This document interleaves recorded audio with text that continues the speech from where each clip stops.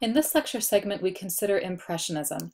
We'll focus on paintings by Monet, Caillebotte, and Morisot, three artists who showed their work at the Impressionist exhibitions. We've been talking about realism at mid-century, and in the 1870s we shift our story to Impressionism. Paris undergoes a massive overhaul in the Second Empire period, a time of relative stability within the 19th century. After a turbulent series of revolutions, the French government settled down, with Napoleon III, who was Napoleon's nephew, elected president as a result of the 1848 revolution, but then had himself elevated to emperor. He hired Baron Haussmann to renovate the city, called the Haussmannization of Paris, transforming a medieval city to a modern metropolis, the city you see today. It's a period of constant construction, with overhauls to the streets, a new sewer system, the creation of parks and green spaces, planting trees along new sidewalks, the addition of gas lights, which allowed folks to go to evening entertainments, and trains and train stations, and the first shopping malls, like the one you see here. Haussmann overhauled how housing worked in Paris. Much of the housing for the poor was destroyed, and they were pushed out of the city to the suburbs. New construction in Paris under Haussmann were five to seven story buildings with shops on the ground floor and then apartments above designed for a range of social classes, which created harmonious, continuous vistas down the new streets, as you see in this view towards the opera, and in the yellow streets on this map. There was prosperity and disposable income, and the burgeoning of a French middle class, the bourgeoisie. These were middle class people who had enough money to provide for their basic needs, and money left over to purchase clothing and home furnishings, but also works of art suited in size to their homes, instead of the huge canvases that we've seen so often in the salon. These individuals were shopping at the new department stores springing up in Paris, and they were walking on the newly dramatically altered streets of the city. Before Haussmann, Paris was a medieval city in many respects, with narrow streets that were easier to barricade than wide boulevards, and the streets of Paris had been barricaded many times in its revolutions.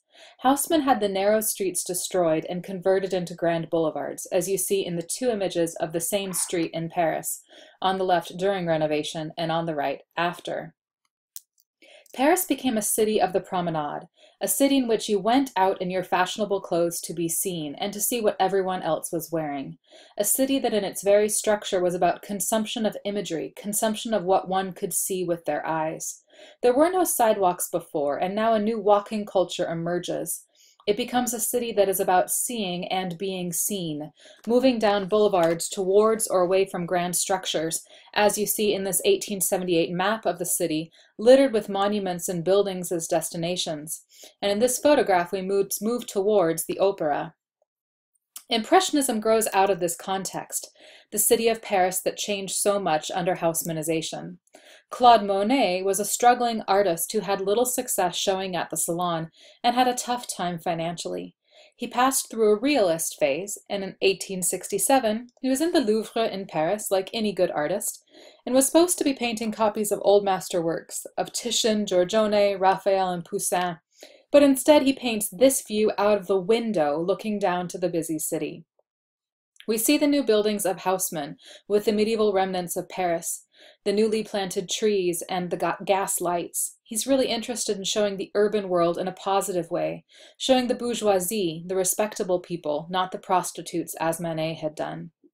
He shows the modern world in the bustle of modern life. After visiting London and hanging out with Whistler and seeing Turner's work, he develops an abiding interest in depicting light and atmosphere, the quality of the air, and how best to use paint to capture it. Monet's impression Sunrise was shown at the first exhibition of the Anonymous Society of Painters, Sculptors, Engravers, etc. in 1874 at the studio of Nadar, a photographer. The painting was reviewed by a critic who used the term impression in a denigrating way, entitling his review The Exhibition of the Impressionists. He commented that wallpaper in its embryonic state is more finished than that seascape, referring to the painting you see here. We see characteristics of Impressionism, the broken brushstroke, the free application of paint, the breaking up of form into color, paint being used to evoke objects, not to transcribe them, and the reliance on the eyeballs of the viewer to mix the colors.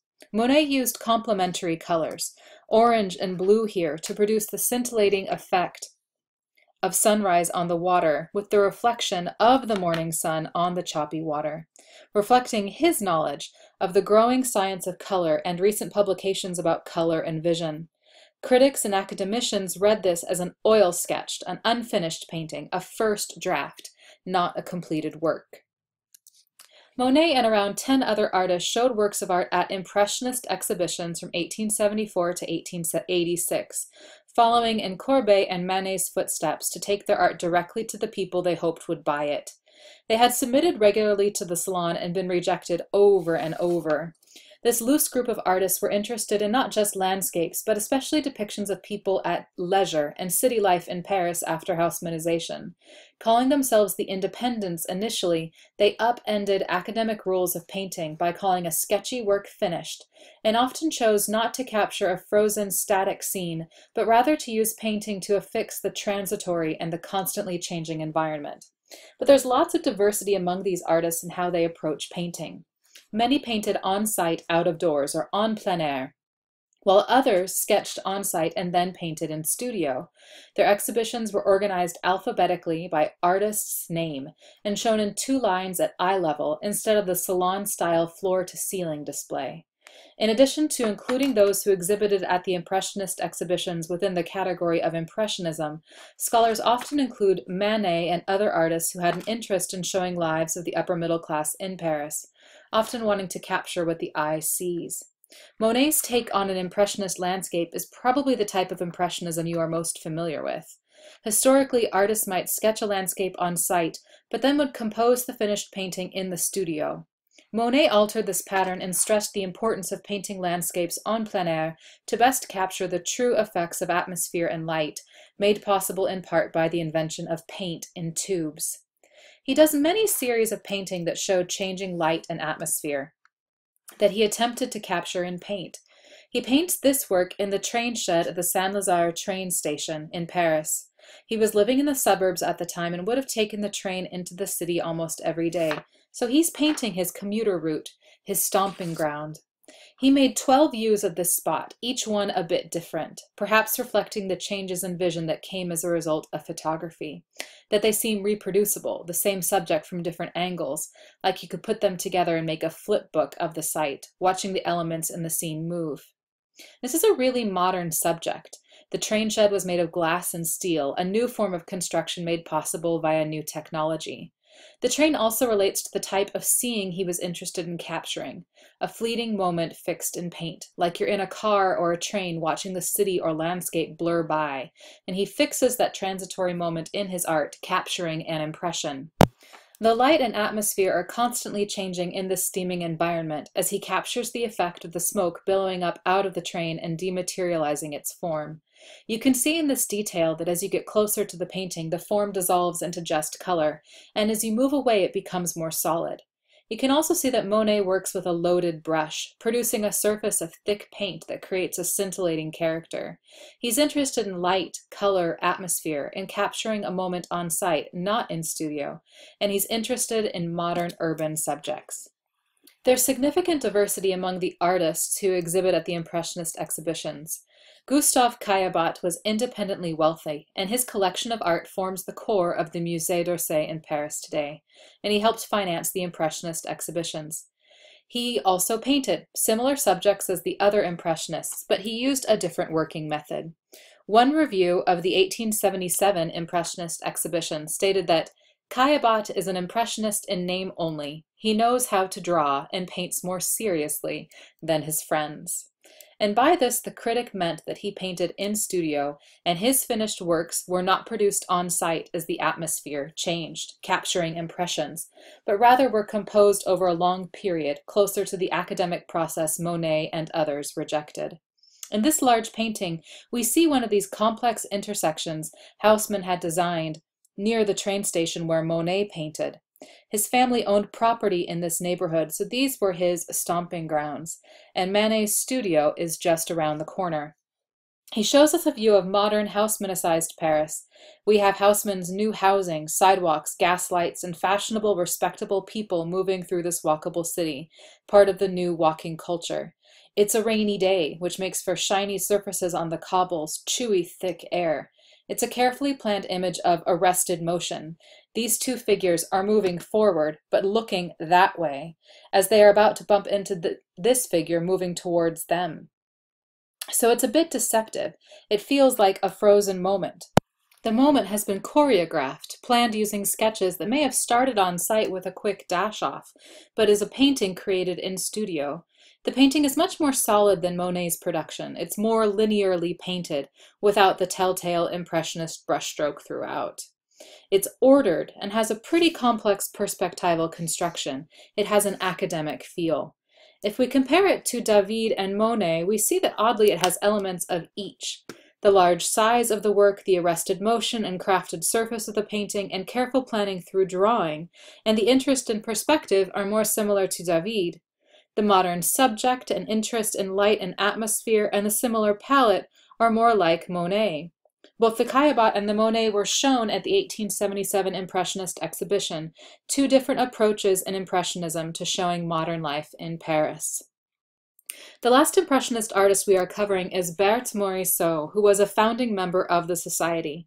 The structure, organization, and hanging of the Impressionist exhibitions, remember they are alphabetical, afforded women, the artists, the opportunity to be included as part of the public discourse about art during this period, as well as allowing them to play a key role in the trajectory of art and modernism during the 19th century. Women artists in 19th century Paris were not allowed to join the French Academy, so they looked for training elsewhere from local masters. Morisot came from an upper middle class family, so she did not need a profession, but she chose one. Her mother secured art lessons for her and her sister, and they began showing works in the salon. Her family got to know Manet's family, and she modeled for him in many portraits. She showed her work in galleries, but was getting rebuffed by the salon, and in 1874 made her last attempt, was refused, and switched her focus to organizing and working for the success of the Impressionist exhibitions. A few months after the Impressionist exhibition in 1874, she married Manet's brother, but kept painting under her maiden name. She specialized in the depiction of the lives of upper middle class women, showing their social activities, their children, their time at concerts and fancy evening clothes, and the time spent in parks, as you see here. She may have chosen these subjects because it was what, what was familiar to her, but it was also what was available to her. Her class and gender precluded her even accessing other subjects like races, bars, or the activities of men. She depicts the modern woman, the stylish Parisienne about her leisureful life. She created a niche market for her works. Her letters reveal that she wanted to sell her art, and she pivoted from landscapes to showing views of women's lives that sold. She shows us a view of women at a popular park for the upper crust. They are on a boat on the water, fashionably dressed with all the accessories stylish bourgeois women were to have hats, parasols, gloves. We see the painterly brushstroke, the broken brushstroke that appears so often in Impressionism, the hand of the artist revealed throughout, the high horizon line and compression of space, and an interest in showing the movement of the water and its scintillating quality using the application of color. Morisot boldly signed this work across the edge of the boat. As we've seen so many times in this course, she used her art to craft an identity for herself as a creator and a shrewd artist who made what would sell. In Impressionism, we see artists turning to the subject of Paris, and especially the activities of the upper middle class. These artists, many of whom exhibited together, show an interest in using paint to capture the changing light and atmosphere and the transitory nature of urban life.